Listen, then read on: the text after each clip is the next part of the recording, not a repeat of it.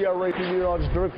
Dirk. Yeah, we are talking about the rain and some snow in the Sierra. Not going to amount to a whole lot, but we are going to see some decent numbers in some locations. It's going to be really kind of select here. 66 degrees currently in Sacramento. Temperatures warming up, even though we do have the high clouds in place. A little bit of a southerly breeze blowing at only 3 miles per hour.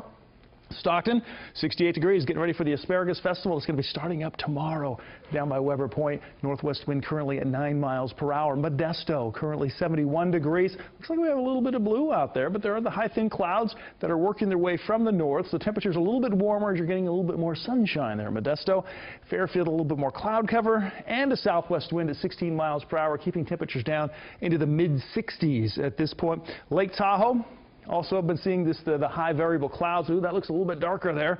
54 degrees with a southerly wind blowing at 13 miles per hour. So where is the rain? Well, satellite view shows us where the clouds are, and then we have the radar that's embedded within that shows us where we do have some rain, and there's some colder air also behind that line of clouds.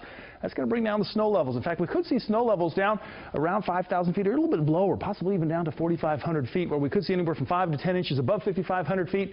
Again, that's going to be along the west slope of the Sierra. If we're talking the east side or in the Tahoe Basin, we're just going to get a few inches of snow out of it.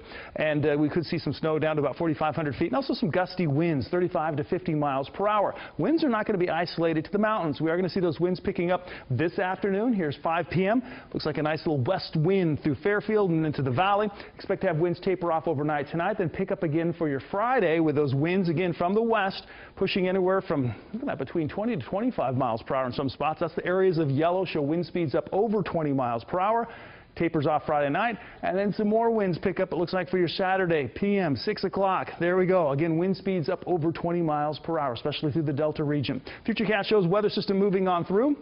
Expect to have the chance for rain lingering throughout the Friday, and then as we move into Saturday, that does start to clear out. Another little weather system is going to come in behind that could bring a few showers by Sunday, and then temperatures really start to warm up as we make our way through Monday and Tuesday. Seven-day forecast, okay, we are looking at increasing cloud cover as we go through the day today. Temperatures peaking in the mid to lower 70s. Here comes the rain, here comes the clouds through Friday. Temperatures dropping off into the mid to lower 60s. We start to warm up on Saturday with some sunshine and a few clouds on Sunday and a slight chance for a few little showers on Sunday. And then, boy, look at that. We have the ridge of high pressure built in, lots of sunshine, and temperatures, Mike, warming into the 80s.